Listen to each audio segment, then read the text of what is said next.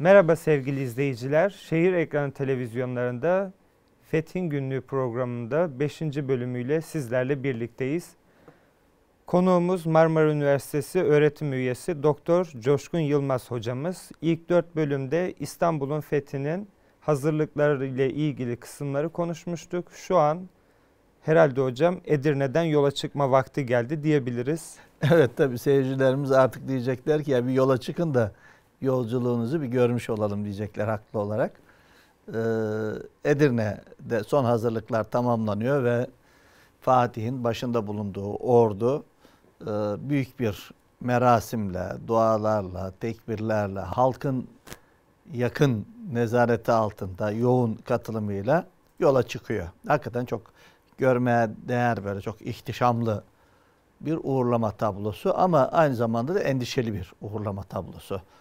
Evet çok uzun süre mücadele edilmiş. Şehir kuşatılsın mı, kuşatılmasın mı? Sonuç ne olur? Riskleri büyük. Tarihi tecrübe var. Önceki bölümlerde de anlatmaya çalıştık. Şimdi ne olacak diye de bir endişe yok değil ama tabii ki her sefere zafer niyetiyle çıkılır. Fatih zaferinden çok emin. Ordusunda Çandarlı Halil Paşa ve bir grup yine çok endişeli. Akşemseddin, Zanos Paşa, Molla Gürani gibi ulemadan ve ricali devletten İshak Paşa, Sarıca Paşa gibi bir grup ümitli bir şekilde 26 Mart'ta Edirne'den yola çıkılıyor. Tabi o yolculuğu tahayyül etmek çok zor.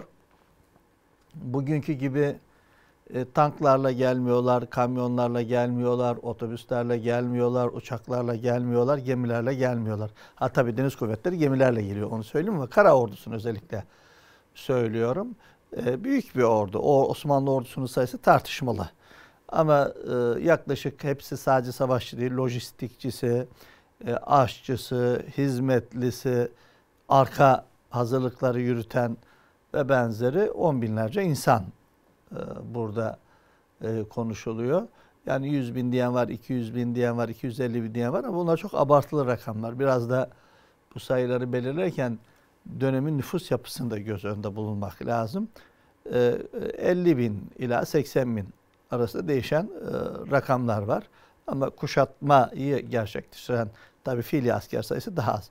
Bu büyük rakam bütün Genellikle ordu bahsedilirken sadece askerler düşünürüz değil mi hocam ee, Yani öyle algı, verilen bütün sayıyı sadece savaşçı olarak algılıyoruz. Değil. Yani ordu. Ee, ordu bütün savaşlarda meydana gelmez. Yani onun mühendisi var, imamı var, aşçısı var, hizmetlisi var. O atlara ve diğer savaşta katılan e, hayvanlara hizmet edenler var. Mesela şahi topunu 140 e, e, öküz, öküz taşıyor. Evet. E bunların yiyecekleri var, içecekleri var, bakımları var, atların var. Yani bütün hazırlık grubunu ordu olarak nitelendiriyoruz. Mesela bütün... Saka başında bunların içerisinde zikredebiliriz değil mi hocam? Hepsini zikredebilirsiniz. Zeytinburnu'nda mesela Saka başı Derya'yı Ali Baba var. İstanbul'da. Ya Saka başı dediniz sucu başı. Evet. Yani ordunun su, su ihtiyacını, ihtiyacını karşılayan bir grup var. Ordunun yemek ihtiyacını karşılayan bir grup var ordunun tuvalet ihtiyacını karşılayan bir grup var. Şimdi binlerce insan şimdi 26 Mart'ta ordu Edirne'den yola çıkıyor ve 5 Nisan'da İstanbul önlerine geliyor. E şimdi bu zaman zarfında bu ordunun yatması lazım, istirahat etmesi lazım, çadırlarının kurulması lazım, yemeklerinin pişmesi lazım, e, tuvalet ihtiyacının, banyo ihtiyacının giderilmesi lazım. Hatta hayvanlarının ihtiyaçlarının giderilmesi lazım. E, yeme, barınma ve benzer bunlar çok büyük imkanlar. Tabii bunun için önden çıkan, e, yollara açan, yolları tesviye eden, düzenleyen, bütün bu tedbirleri alan bir ekip var. Ayrıca e, bütün bu ilerleyiş esnasında da kimsenin taşkınlık yapmaması, halka zarar vermemesi, köylüyü, çiftçiyi rahatsız etmemesi, onun ziraatına, tarlasına, ürünlerine zarar vermemesi gerekiyor. Bunun için de bir inzibat tedbiri gerekiyor. Hukuki düzenlemelerin yanında. Bütün bunlar e, muntazam bir şekilde e, alınıyor ve 5 Nisan gibi İstanbul önlerine geliyor. Tabi e, Osmanlı ordusunun Edirne hareketiyle birlikte de İstanbul'da bütün kapılar kapatılıyor. E, surların tamiri için hazırlıklar en üst safhaya çıkarılıyor. Zaten orası da burası fetih hazırlıklarına başladığında orası da surları ve savunma hazırlıklarına başlıyor. Daha önceki bölümlerde e, bunları anlatmıştık. 2 Nisan'da ise Haliç girişindeki zincirleri çekiyor. Şimdi bu zincir hadisesi çok önemli. E, bu zinciri merak eden seyircilerimiz Türk İslam Eserleri Müzesi'nde ziyaret edebilirler. Galata Kulesi'nde, orası şimdi müze oldu. Galata Kulesi'nde ziyaret edebilirler. İstanbul Arkeoloji Müzesi'nde gidip görebilirler. Harbi Rumeli Hisarı gidip görebilirler. Bu, bu zincirden parçalar e, Kültür ve Turizm Bakanlığı'na bağlı bu müzelerde sergileniyorlar. E, ve Fethi'nin en canlı hatıralarından birisidir. E, maddi obje olarak. Günümüze Hocam tam olarak onun bulunduğu alanlar neresi? Onun bulunduğu alan yaklaşık bugün e, Karaköy'de Sirkeci tarafında Haliç'in ağzına e, gerilen bir alan. Yani seyircilerimiz zihinlerinde canlandırabilirler. Karaköy limanının biraz arkasından. Yeraltı caminin önündeki e, o bölge Yani oradan veya biraz daha dar bir alandan karşı Sirkeci tarafına doğru gelen bir alan. İlla tam santimetre nokta atış tespiti yapamıyoruz. Genel tarif ve tasvip yapıyoruz. Bu neyi sağlıyor? Bu donanmanın e, Haliç'e girmesini ve şehri topa tutmasını ve asker çıkarmasını engelliyor. Çünkü şehrin en zayıf surları Haliç tarafında. Ee, hemen zincirleri geriyorlar. Başka bir şey daha var. Roma'nın yani Bizans'ın e, deniz kuşatmasında veya gemilerin denizden hareket ettiğinde kullandığı Rum ateşi var. Bu da e, denizde yanan bir ateş. Yani suya atıyorlar ve yanıyor ve düşman gemilerini, şehri kuşatmaya gelen gemileri yakıyor. Böyle iki tane büyük tehlike var. Gemi, zincirleri aşmak zaten kolay değil. Nitekim zaten e, ilerleyen dakikalarda söyleyeceğiz. E, pek çok girişim oluyor ama zincirleri aşamıyorlar. E, ve 5 Nisan'da Osmanlı ordusu gelip İstanbul'un önlerinde görünmeye İstanbul'un önlerinde mevkiini alıyor. Padişah geliyor. Otağı Hümayun'u kuruyor. Perşembe gününe denk geliyor. E, Cuma günü başlangıçları önemlidir. Yani Osmanlı toplumunda, İslam toplumlarında Müslümanlar arasında e, mübarek günler vardır, geceler vardır. İşte e, Kur'an-ı Kerim ayetleriyle, hadis-i şeriflerle müjdelenen günler vardır. Ecrinin daha fazla olduğu günler vardır. Bizim için de Cuma, Müslümanlar olarak bizim için Cuma günü de çok kıymetli bir gündür, çok değerli bir gündür. Ee, özel Müslümanların bayramı olarak kabul edilir. Hem ayet-i kerimelerle hem hadislerle anlatılan bir gündür. Ve e, fiili kuşatmada Cuma günü başlıyor. Bugün Topkapı'nın önlerinde Maltepe mevkii var. Yani karşıda e, Anadolu yakasındaki Maltepe, Maltepe değil, değil Maltepe değil, Bayrampaşa taraflarında o karayolunu, minibüs yolunu kullananlar falan bilirler e, orayı. Zaten ve padişah da oraya Ota Hümayun'u kuruyor.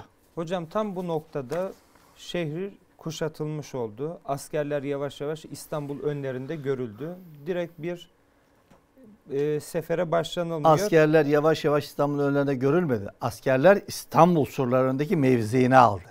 Evet. Şimdi e, bu tür kuşatmalarda Osmanlı ordusunun 2-3 tane temel hususiyeti vardır İbrahim. Birincisi planlama. Stratejik planlama. Daha e, padişahın huzurunda İstanbul surlarının planı çizilmiştir. Hangi top nereye konulacak? Donanma nerede yer alacak? Hangi paşa hangi kuvvetleriyle nerede yer alacak? Bunların hepsi belirlenmiştir. Bunun altını çizelim. E, dolayısıyla e, İstanbul önlerine geldiğinde aynı zamanda hızlı bir şekilde yerleşmeye başlanıyor. Tabii 5 Nisan hemen gelir gelmez tak diye böyle bilgisayarda yerleştirir gibi herkes yerleşemiyor. Çünkü o yerleşmenin de gerçekleşebilmesi için alanın tesviye edilmesi lazım, düzenlenmesi lazım. E, ama çok hızlı bir şekilde yerini e, alıyor.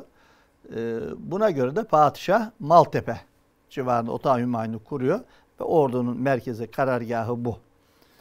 Peki onun sonrasında bir elçi gönderimi olup şehrin teslim olunması noktasında Bizans İmparatoruna bir telkinde bulunuluyor değil mi hocam? E, bu İslam fetih geleneğinin temel bir kuralıdır. E, Osmanlılar da bu kuralı çok titizlikle uygularlar. Bizzat saldırıya başlamadan önce elçi gider ve e, şehrin teslimini ister veya devlet başkanı şartlarını bildirir. Karşı taraf bunları kabul ederse barış yapılır. Ama etmezse savaş yapılır. Ama zaten şimdi şehri kuşatıncaya kadar bu görüşmeler yapılmıştır. Yoksa şartları düşman kabul etmiş olsa ve edecek olsa şimdi on binlerce asker ve padişah niye gelip şehri kuşatsın? Ama yine de e, temel bir esas olarak İslam hukukunun bir gerekliliği gibi e, telakki elçi göndermek, vireyle teslim e, olunmasını istemek bir gelenektir. Ama Fatih'in bir derdi var. Fatih İstanbul'u seviyor. Ve Fatih İstanbul yıpransın istemiyor. Zaten 1204 Latin işgalinde İstanbul e, çok büyük bir felaket yaşamış. Bunu belki ilerleyen dakikalarda konuşuruz ve Evet. mutlaka konuşulmalı. Dünya tarihinin görmüş olduğu en büyük felaketlerden birisini yaşıyor 1204'te. Ve belini bir daha doğrultamıyor. O harabenin izleri 1453'te de Fatih şehre girdiğinde görüyor. Fatih şehir helak olmasın, yıpranmasın istiyor. Tahrip olmasın istiyor. Ve mümkün olduğunca da e, şehri en sağlıklı şekliyle, en sağlam şekliyle almak istiyor. Bu onun, yani Sultan II. Mehmet'in bir e, savaşçı değil, derdinin böyle piyasadaki Cengiz gibi ve benzerleri gibi bir işgalci değil, bir fatih olduğunun göstergesidir.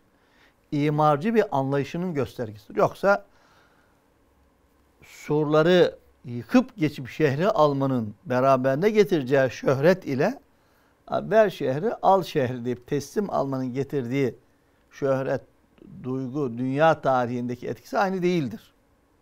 Adam bileğin hakkıyla aldı derler. E, tabii ki teslim olmada bir güç var ama öbürü daha böyle hikayesi bol olan bir iştir. Ama Fatih bunu önemsiyor. Şehrin sağlam bir şekilde teslimini önemsiyor. Bu çok üzerine durmamız gereken bir konudur. Nitekim e, kuşatma başarıyla neticelenip 29 Mayıs 1453'te Fatih ve ordusu şehre girdiği zaman da Fatih'in bu anlayışın yansımalarını görüyoruz biz. Vakfiyesinde çok güzel bir ibare var değil mi hocam? Hüner bir şehir bünyad etmektir, reaya kalbin abad etmektir. O da Bu- herhalde zihin dünyasını yansıtan en güzel Tabii cümledir. bu onun temel politikasıdır. Zaten e, Peygamber Efendimizin hem e, hadislerinde geçen hem uygulamasına geçen küçük cihattan e, büyük cihada geçiş olarak nitelendirilir. Yani fiili savaş küçük cihat ama imar, iskan, nefisle mücadele büyük cihat olarak değerlendirilir. Fatih de böyle değerlendiriyor. Elçi olarak Mahmut Paşa gidiyor değil mi hocam? Mahmut Paşa'yı elçi olarak gönderiyor. Ee, şartlarını imparatora sunuyor. Yani sen kalk buradan git. İşte askerlerin ölmesin, insanlar ölmesin, şehir yıpranmasın diye. Ama ben Konstantin'i takdir ediyorum. Daha önceki bölümlerde de söyledim. O da şehrini, ülkesini savunma konusunda e, son derece kararlı ve kahramanca bir tavır sergiliyor. Nitekim kuşatmanın ilerleyen dakikalarında da birkaç defa kendisine bu teklif kendi askerleri ve adamları tarafından yapılıyor. Hani siz çıkıp gidin, kuvvet toplayıp tekrar gelin. Çünkü daha önce örnekleri var. Mesela Haçlıların 1204'teki işgallerinde e, imparator ailesi İstanbul'u terk ediyor. E, Balkanlarda var oluyor. Sonra tekrar dönüyorlar ama Konstantin bunu kabul etmiyor ve elçinin teklifi de reddedilince artık 6 Nisan'da e, savaş başlıyor. E, önce top atışları var. E, çok ciddi bir şekilde yavaştan başlayan gibi giderek e, temposu artan bir şekilde top atışları yapılıyor. Padişah Ee, bizzat orduyu kendisi denetliyor değil mi hocam? Bütün birlikleri tek tek gidip görüyor. Ondan sonra ordu top atışlarıyla birlikte başlatmış oluyor. Şöyle e, merkez kuvvet ve çevre kuvvet var. Osmanlı ordusunun yerleşmesi şöyle. Şu önümüzdeki planda da var. Arkadaşlarımız da bu planı ekrana da taşırlarsa güzel olur.